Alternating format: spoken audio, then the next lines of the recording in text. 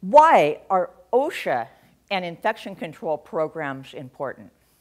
Because in every dental office, there are desperate office germs, criminal microbes, and survivors of the sterilization room.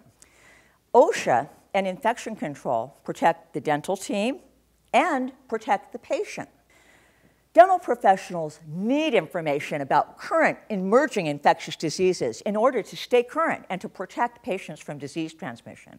Patients today are more aware than ever about infection control.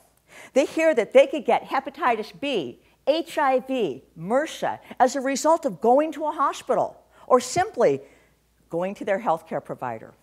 A dentist in Florida infects several of his patients with HIV. The mode of transmission was never discovered.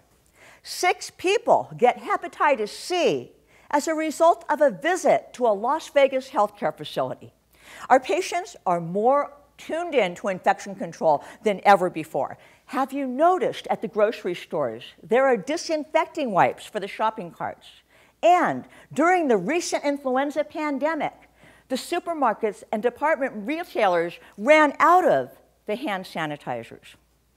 Our patients don't know exactly what we do for infection control. They have to trust us.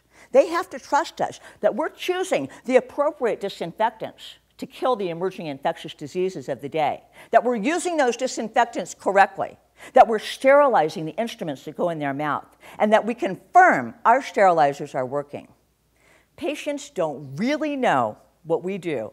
They have no other choice but to trust us to keep them safe while they're in our care. So by continuing our education on infection control and OSHA compliance, by continuing to demonstrate our commitment to the regulations by wearing clinical attire and by working safely and by simply spending enough time washing our hands, our patients will have trust and confidence in us as healthcare providers to keep them safe.